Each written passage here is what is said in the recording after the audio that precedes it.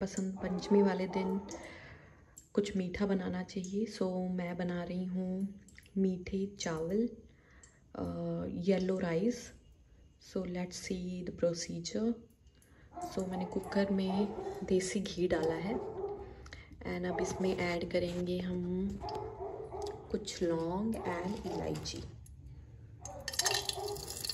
for flavour